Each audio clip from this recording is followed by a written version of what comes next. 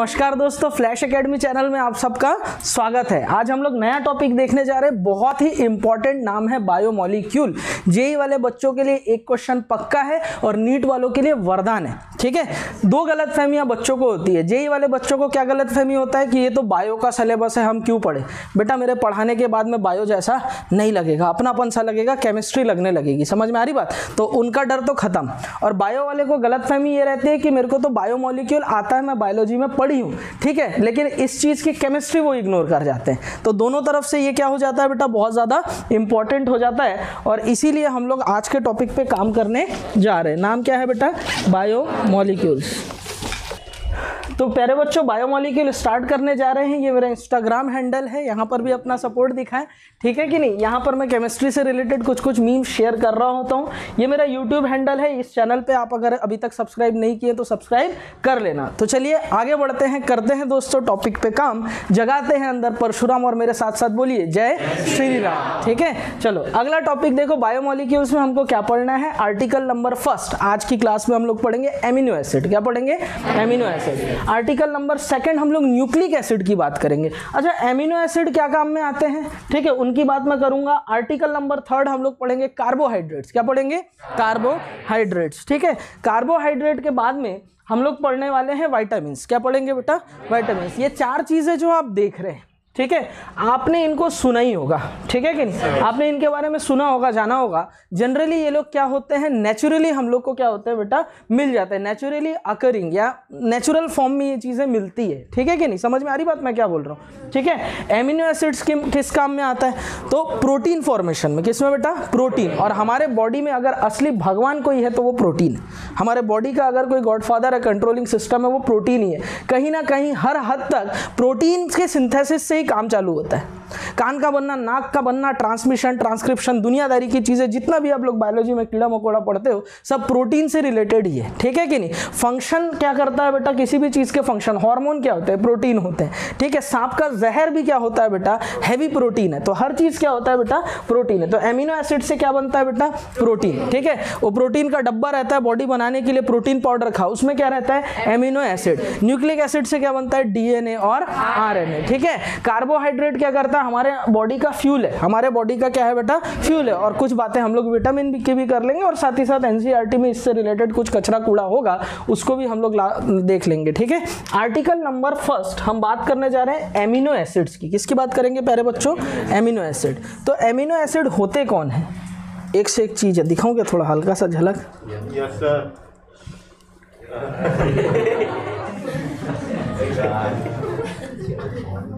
सब है, ठीक है?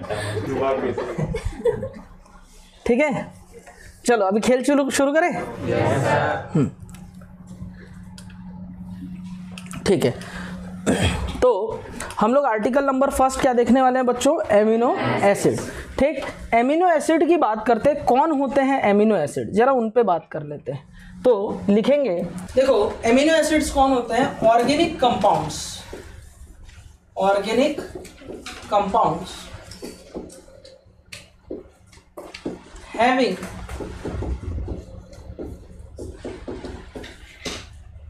amine group यानी NH2 अटैच होगा, ठीक है? और दूसरा क्या अटैच हो सकता है बेटा? Carboxylic acid group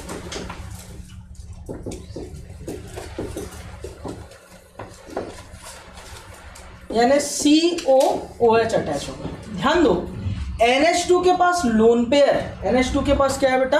loan pair है। तो ये खुद में बहुत अच्छा क्या है बेटा? बेस है। ठीक है, ये क्या होता है? बेस है। लोन पेयर देने वाले होते हैं बेस और C O H organic chemistry का तो एसिड है।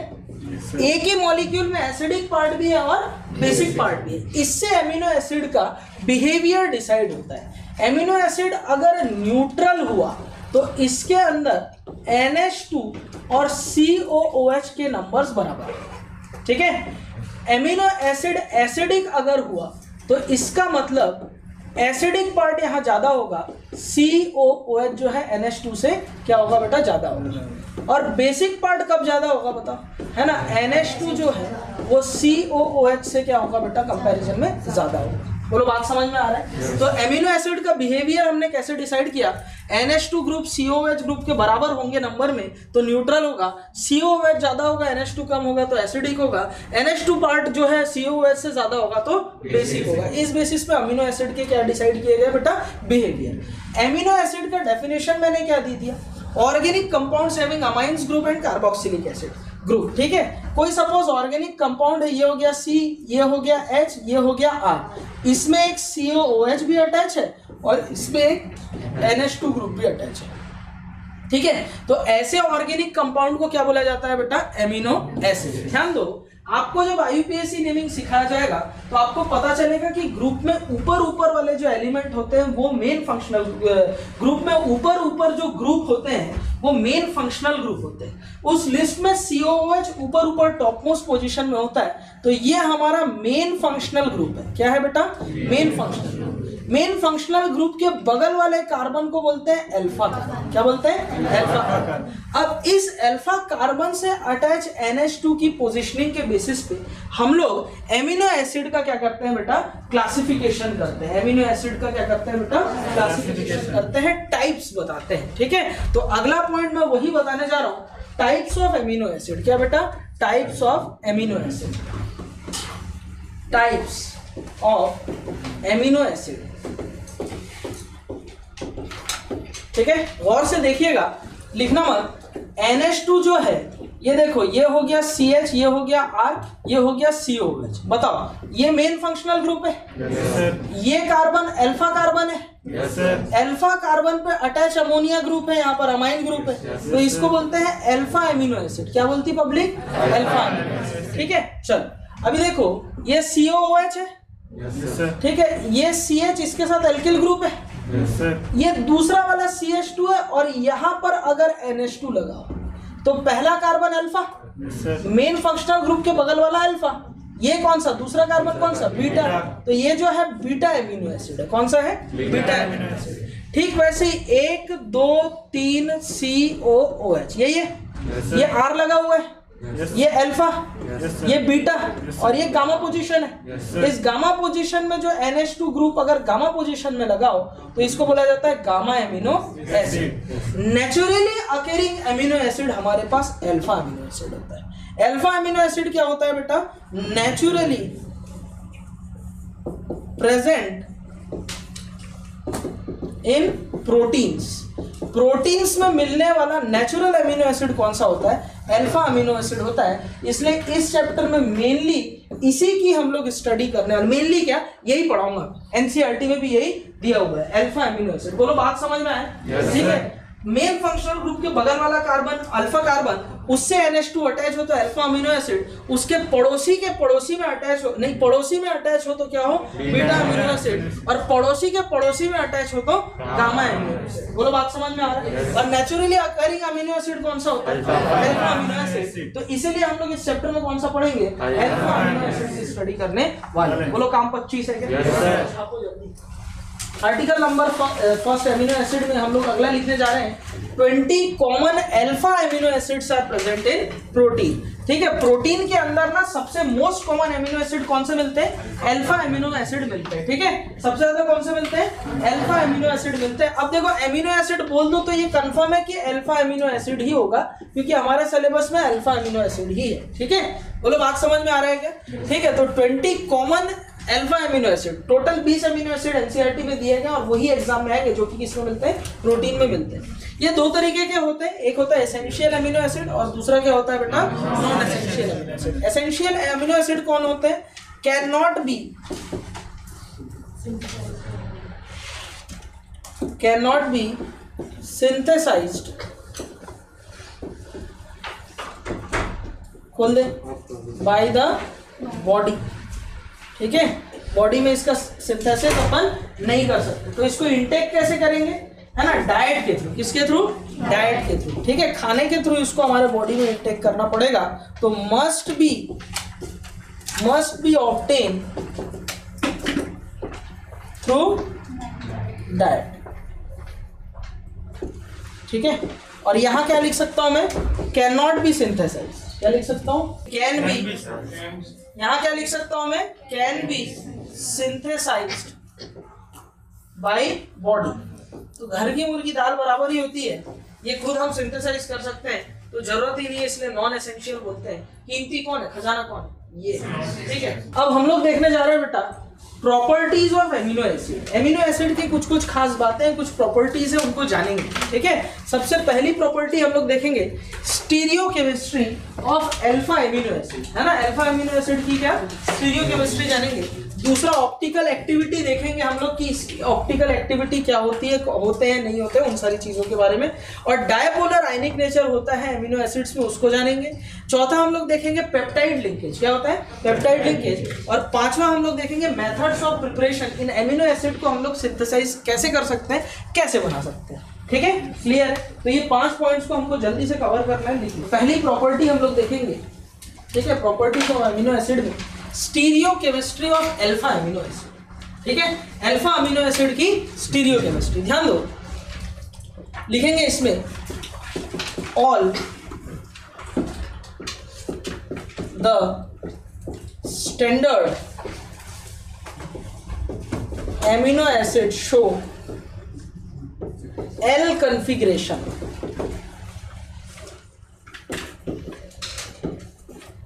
all are natural अब इस बात का मतलब क्या है? एल कन्फिग्रेशन बोलने का मतलब क्या ध्यान दो, हम लोग एल्फा एमिनो एसिड की बात कर रहे हैं प्यारे बच्चों। अरे, है कि नहीं? ठीक है? एल्फा एमिनो एसिड में क्या होता है? ठीक है? ये देखो एल्फा एमिनो एसिड ना ऐसे बनाया जाता है। ठीक है? इस प्रोजेक्शन में ना सी ओ ओ है, जो मेन फंक्शनल ग्रुप है, वो और एल्किल ग्रुप ये ग्रुप का फ़र्क होगा। एमिनो एसिड कौन होते हैं? जरा मैं उस चीज़ को एक बार और आपको बता देता हूँ। ये देखो, ये हो गया सी ओ ओ एच ठीक है? और ये हो गया आर सारे एमिनो एसिड में इस ग्रुप का ही फ़र्क है। यही ग्रुप बस चेंज होगा। समझ रहे हो बात को? है ना? जैसे ग्लाइसिन में हाइड्रोजन आ जाएगा एलिनिन में सी एच थ्री आ जाएगा। तो ये वाला ग्रुप बस सब में चेंज होगा। ठीक है? इधर हाइड्रोजन और NH2 रहते हैं। अब ऐसे प्रोजेक्शन में आपको इस बात का ध्यान रखना होगा कि COH को कहीं पे भी मत रख देना। COOH और नंबर ऑफ़ कार्बन ज़्यादा से ज़्यादा वर्टिकल लाइन में ही आपको रखने होते हैं। बोलो, बात क्लियर है क्या? इस चीज़ का बस ध्यान रख लेना। ये हमारे पास में कौन होते हैं बेटा? एमिनो एसिड ठीक? अच्छा हमको कौन से पोजिशन में पढ़ना है? ये देखो, ये मेन फंक्शनल ग्रुप है। अरे ये मेन फंक्शनल ग्रुप है ना? मेन फंक्शनल ग्रुप के बगल वाला कार्बन अल्फ़ा कार्बन है कि नहीं? तो अल्फ़ा कार्बन पे एल्किल ग्रुप लगा है ठीक है? हाइड्रोजन और NH2 ग्रुप लगा है। तो अल्फ़ा कार्बन पे लगा हुआ NH2 ग्रुप ये कौन सा है? अल्फ़ा एमिनो एसिड बोलो बात क्लियर और क्योंकि ये अल्फ़ा एमिनो एसिड में NH2 ग्रुप जो है लेफ़्ट साइड में रखा हुआ है तो इसको मैं बोलता हूँ एल एमिनो एसिड क्या बोलता हूँ? एल एमिनो एसिड चलो भाई इसका दूसरा प्रोजेक्शन देख लेते हैं। इसी का अगर मिरर इमेज बनाऊँगा तो क्या होगा बेटा? सी ओ ओ एच और ये हो जाएगा आर और ये हाइड्रोजन हो गया इधर। और ये हो गया NH2 बोलो बात क्लियर है ठीक है? ये NH2 ग्रुप दाई तरफ़। है इधर है? दाई तरफ़। राइट साइड नहीं दाई तरफ़। क्या बोला मैं? दाई तरफ़। राइट साइड दाई तरफ़ है। इसलिए इसको बोलते हैं डी एमिनो एसिड क्या बोलते हैं? डी एमिनो बोलो बात समझ लो। समझ लो ना बात को? ठीक है तो एल और डी में फ़र्क समझ में ठीक है। एल एमिनो एसिड ये नेचुरली होता है। क्या होता है बेटा? नेचुरल एमिनो एसिड होता है। है ना? और ये जो डी एमिनो एसिड है इसको सिंथेसाइज करना पड़ता है। इसका मतलब क्या समझे?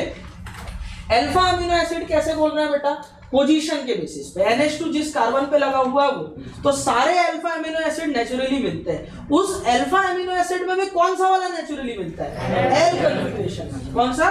एल कन्फिग्रेशन वाला जिसमें NH2 इस साइड में।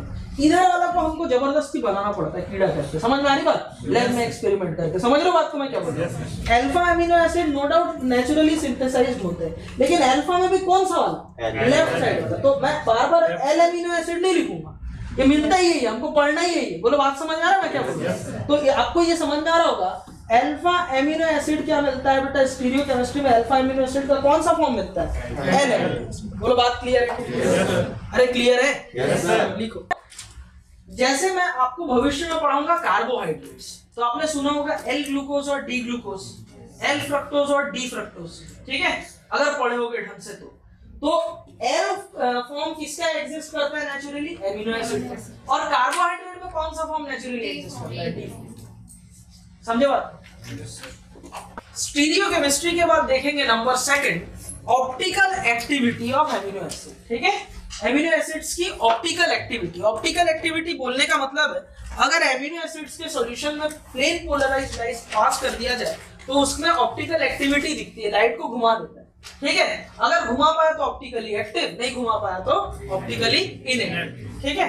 अब ऑप्टिकली एक्टिव कौन लोग होते हैं? जिनके पास कायरल सेंटर या कायरल कार्बन होता है। है क्या होता है?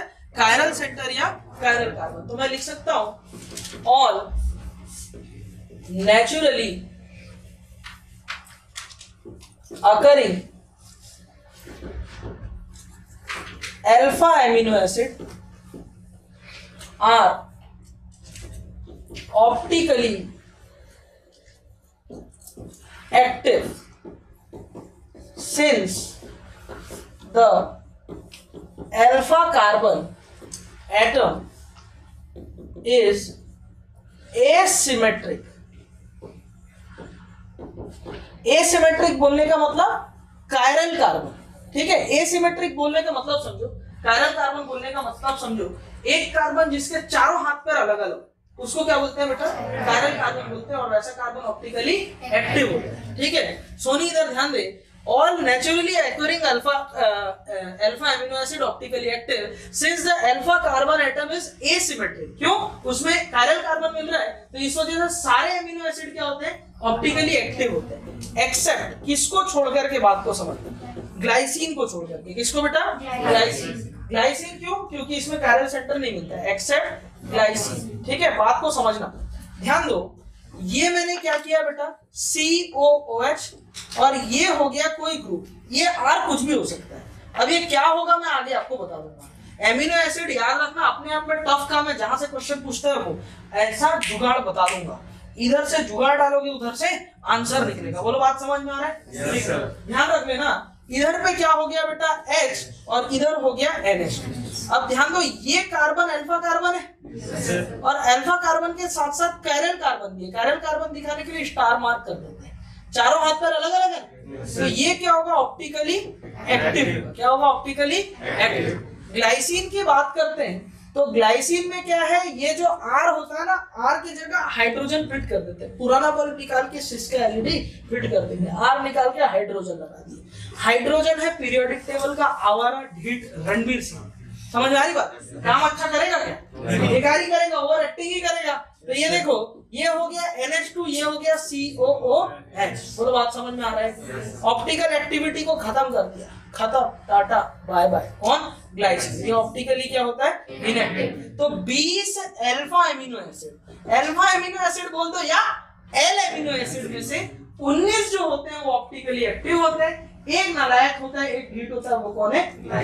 यहाँ का काम 25 है सबको अच्छे से समझ में आया जल्दी लिख लो। प्रॉपर्टीज़ ऑफ़ एमिनो एसिड में है ना? अगली प्रॉपर्टी है एमिनो एसिड शो डायपोलर है ना? आयनिक नेचर अब डायपोलर आयनिक नेचर बोलने का मतलब क्या है? जरा समझना। मैंने यहाँ पर लिख दिया NH2 ठीक है? ये हो गया CH ये हो गया एल्किल ग्रुप ये हो गया COOH एमिनो एसिड को मैंने ऐसे लिखा। ठीक है? एमिनो एसिड में COOH जो पार्ट होता है, ये एसिडिक पार्ट है हमारा। क्या है बेटा?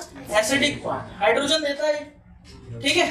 और NH2 के पास लोन पेयर होता है। क्या होता है? लोन पेयर ठीक है? तो ये हमारे पास में बेसिक पार्ट है। क्या है? बेसिक पार्ट अब एसिड बेस जब भी मिलते हैं तो वहाँ न्यूट्रलाइजेशन रिएक्शन होती है। एसिड बेस रिएक्शन उसको बोलते हैं। एसिड और बेस मिलकर के नमक और पानी बना लेते हैं? अब एसिड की खास बात होती है ये H प्लस देता है। अब इनको ना दूसरे स्पीशीज की ज़रूरत नहीं। यही यही खेल हो जाएगा। यहाँ से ये H प्लस दे देगा है ना? और ये H प्लस जुड़ करके NH2 में अटैच कर जाएगा। Yes, अब यहाँ अगर acid base intramolecular acid base reaction होती है तो एसिड बेस रिएक्शन होने के बाद में देखो क्या बनता है। यहाँ हो जाएगा NH3 प्लस अब नाइट्रोजन जब चार बॉन्ड बनाता है तो प्लस चार्ज आ जाता है। और यहाँ हो जाएगा CH और ये हो गया R और ये हो गया COO माइनस ये देखो, ये एनाइनिक पार्ट है। कौन सा पार्ट है? एनाइनिक पार्ट और ये वाला कौन सा है? देखो कैटायनिक पार्ट है। कौन सा बेटा? कैटायनिक पार्ट तो एक ही मॉलिक्यूल जनरली जो ऑर्गेनिक मॉलिक्यूल्स होते हैं ना, वो लोग नॉन पोलर होते हैं। क्या होता है बेटा? नॉन पोलर होते हैं नॉन आयनिक होते हैं। लेकिन H प्लस डोनेट करने के बाद से यहाँ पर पॉजिटिव चार्ज और यहाँ पर नेगेटिव चार्ज आ चुका है। बोलो आया नहीं आया? तो पॉजिटिव नेगेटिव होने की वजह से कैटायनिक पार्ट और एनायनिक पार्ट आ गया। Yes, तो. ये आप क्या हो चुका है? पोलर क्या हो चुका है? पोलर जैसे सॉल्ट होते हैं। ए प्लस Cl माइनस होते हैं? सॉल्ट की तरह कौन से सॉल्ट आयनिक सॉल्ट की तरह हो गया। कैसा हो गया? आयनिक सॉल्ट की तरह हो गया। था क्या? ऑर्गेनिक कंपाउंड बिहेव कैसा दिखा रहा है? आयनिक सॉल्ट की तरह बिहेव दिखा रहा है। ऐसे आयन को बोला जाता है ज्विटर आयन ट्विटर नहीं ज्विटर क्या बोलती पब्लिक ज्विटर आयन क्या टफ नाम है ज्विटर आयन वाह। क्या बोलते हैं इसको? ज्विटर आयन बोलते हैं। तो it behaves like it behaves like ionic salts ठीक? अब आयनिक सॉल्ट की तरह कैसे बिहेवियर दिखाता बड़ा बात को समझना आप। ठीक है? आयनिक सॉल्ट वो होते हैं जो पानी में इजीली डिसोल्व हो जाते हैं। पानी में घुल मिल घुल मिल जाते हैं। आयनिक सॉल्ट की पहचान है, उनको पानी में डाल दो तो हुड़ हुड़ अलग दबंग दबंग अलग हो जाता है। कैटायन कैटायन अलग, एनायन एनायन अलग हो जाता है। तो इसका मतलब वो सॉल्यूबल है। तो ये भी क्या होता है बेटा? सॉल्यूबल इन वाटर क्या होता है बेटा? सॉल्यूबल इन वाटर दूसरी प्रॉपर्टी समझो। आयनिक सॉल्ट जो होते हैं, उनको मेल्ट नहीं किया जाता आसानी से। उनकी मेल्टिंग पॉइंट बहुत हाई बहुत हाई होती है। ठीक है? जबकि कोवेलेंट कंपाउंड होते हैं, यहाँ ये पिघल गया। वो पिघल जाता है। इजीली क्या हो जाता है? मेल्ट हो जाता है। और आयनिक कंपाउंड इजीली मेल्ट नहीं होते नमक ले लो एक चम्मच नमक को पिघला के देखो। अरे टाइम है ना? फुर्सत है। ऊपर से मम्मी जूता लेके खड़ी है पीछे। तुम्हारे एक्सपेरिमेंट के चक्कर में। बोलो बात समझ रहे हो मैं क्या बोल? रहा हूँ ठीक है? तो आयनिक सॉल्ट जो होते हैं उनका क्या होता है बेटा? बहुत हाई मेल्टिंग पॉइंट होता है। क्या होता है बेटा? हाई मेल्टिंग पॉइंट होता है। ठीक है? तो इस टाइप से ये ज्विटर आयन या एमिनो एसिड है इनका भी मेल्टिंग पॉइंट क्या होता है? बहुत हाई बोलो बात समझ में आ रहा है? चलो तीसरा पॉइंट हम लोग समझते हैं। ऊपर से देखो आयनिक सॉल्ट है नमक है। अब ये कैटायन एनायन है इनको आपस में खूब सारे कैटायन मिल करके आपस में किसका फॉर्मेशन करते हैं? क्रिस्टल किसका फॉर्मेशन करते हैं? क्रिस्टल कोवेलेंट कंपाउंड के क्रिस्टल नहीं बनते जबकि आयनिक कंपाउंड के KCl NaCl इनको क्रिस्टलाइज किया जा सकता है। तो इसका मतलब एमिनो एसिड ज्विटर फॉर्म में होने की वजह से क्या होता है बेटा?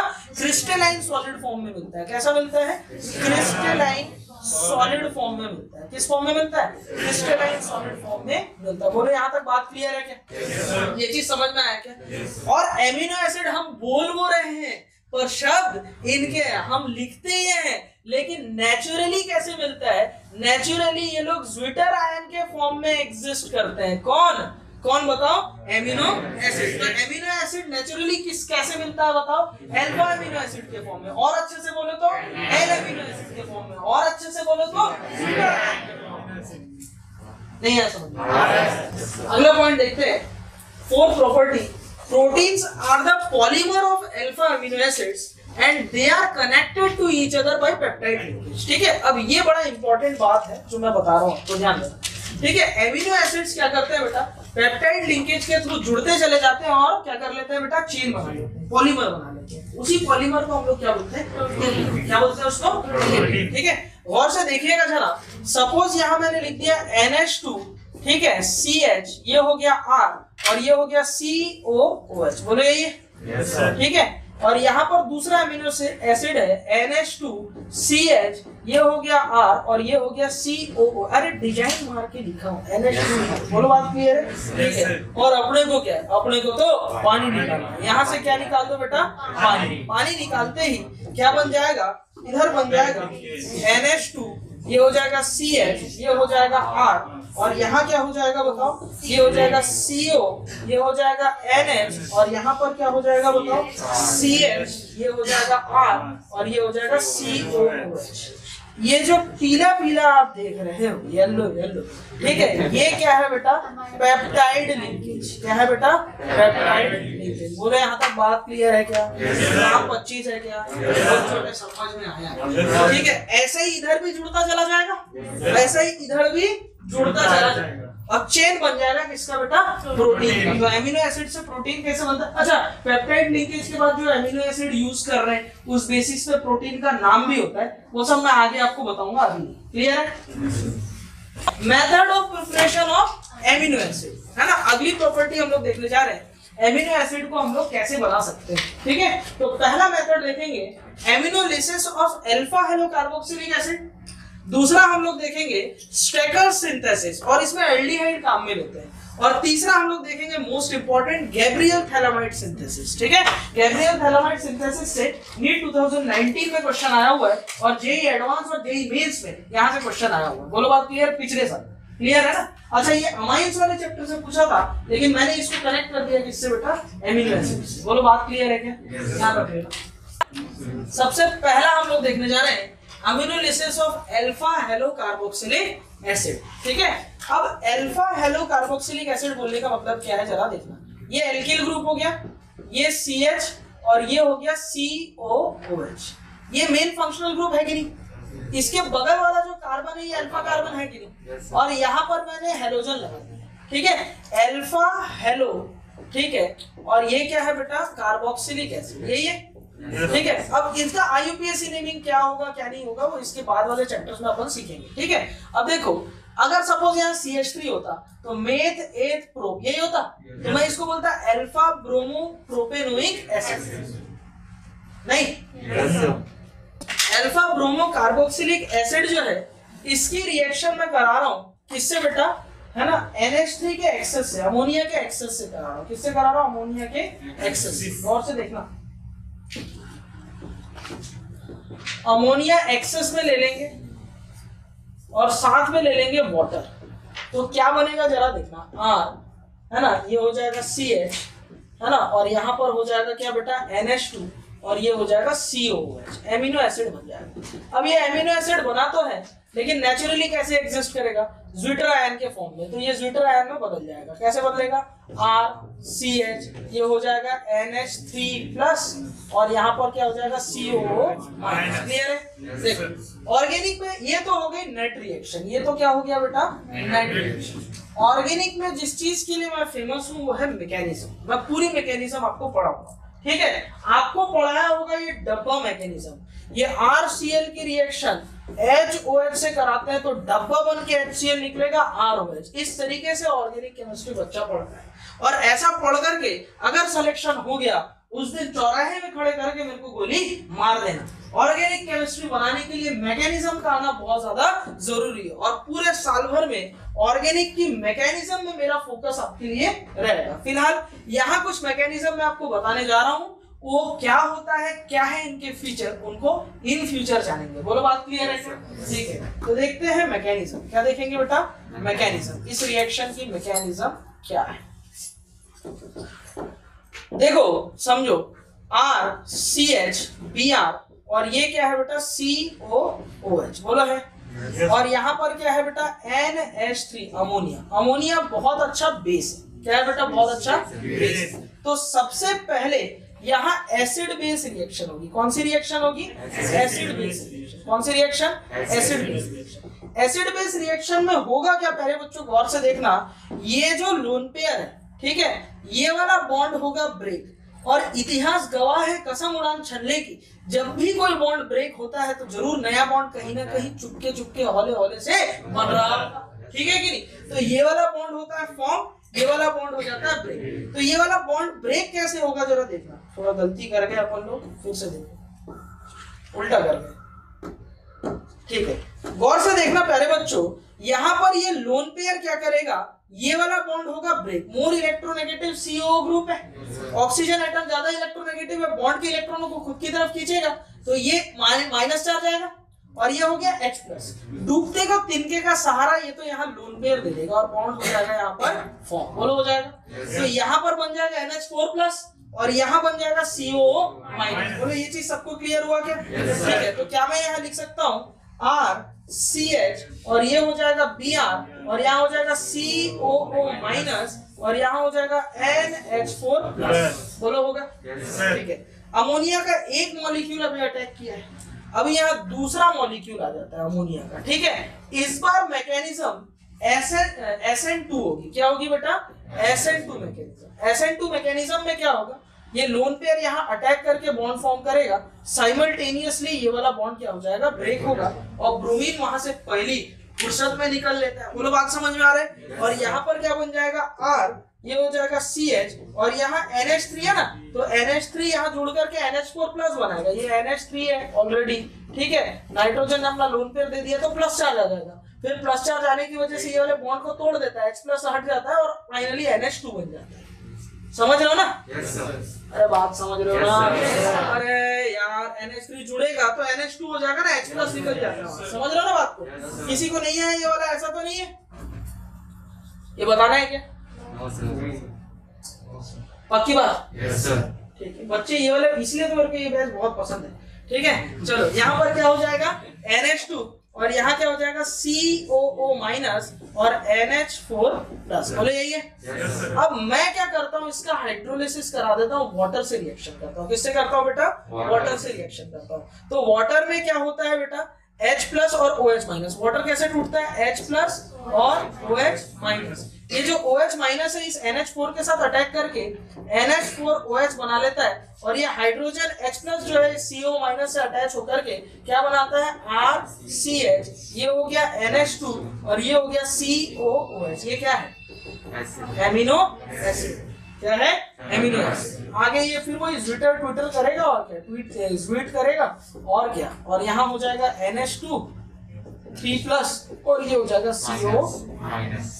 बोलो समझ में आया. अरे नहीं आया क्या समझ में? हाँ। ठीक है तो ये पूरा कंप्लीट मैकेनिज्म है ठीक है? अगला देखने जा रहे हैं B Strecker synthesis by aldehyde aldehyde से हम लोग स्टेकर सिंथेसिस करने जा रहे हैं। गौर से देखिएगा जरा। आर सी एच और यहाँ पर क्या है बेटा? डबल बॉन्ड ओ ये क्या है? एल्डिहाइड एल्डिहाइड की रिएक्शन अरे आर सी एच ओ ही तो लिखा होगा यार ठीक है इसकी रिएक्शन में अगर NH4Cl और दूसरा सोडियम साइनाइड से करो NaCN और NH4Cl से ठीक है? तो देखो ये वाला बॉन्ड ब्रेक होगा डबल बॉन्ड और एक जगह NH4 से निकलेगा NH2 वो जुड़ जाएगा और दूसरा वाला जो वैलेंसी है कार्बन की उसमें साइनाइड जुड़ जाएगा यानी R C यहाँ हो जाएगा NH2 और यहाँ हो जाएगा Cn और ये क्या है बेटा? हाइड्रोजन बोलो है कि नहीं है? ठीक है? अब ये जो है, इसका ना हम लोग क्या कर देंगे? ऑक्सीडेशन कर देंगे।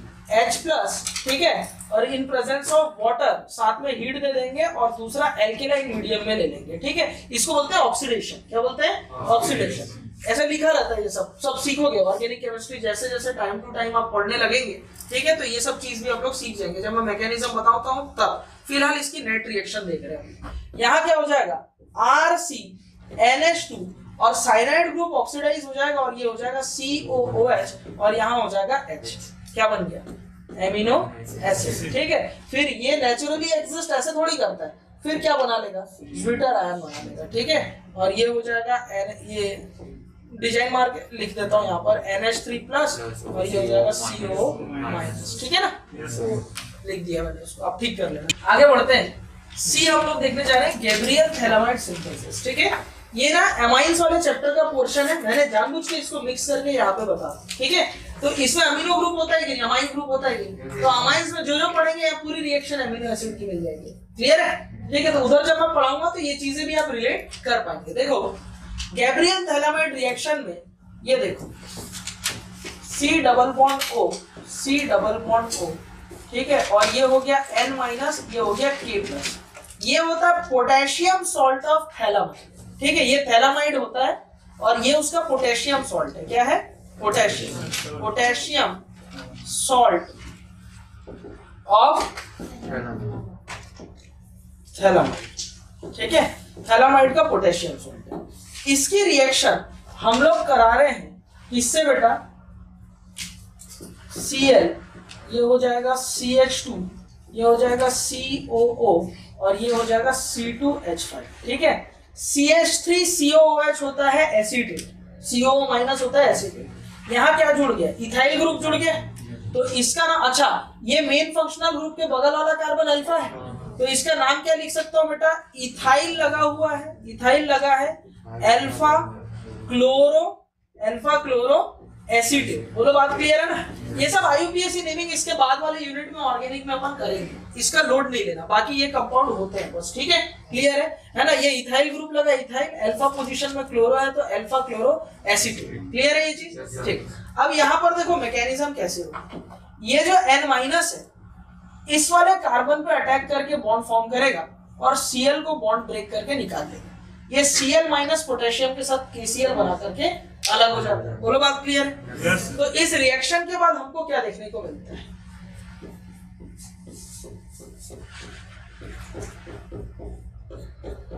N C H two C O O है ना? और इसको और अच्छे से लिखू अगर मैं तो।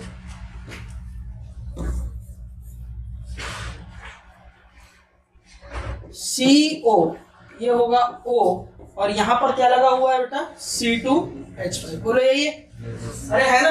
ठीक। और आगे देखिएगा जनाब, अब इसका ना हम लोग हाइड्रोलिसिस करेंगे। क्या करेंगे बेटा? हाइड्रोलिसिस हाइड्रोलिसिस एसिडिक भी कर सकते हो बेसिक भी कर सकते हो।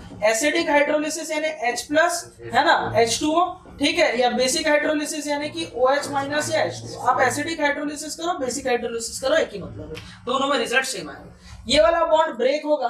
यहाँ H यहाँ ओ एच वाटर जोड़ा? ये वाला बॉन्ड ब्रेक होगा। यहाँ H यहाँ ओ एच वाटर जुड़ गया?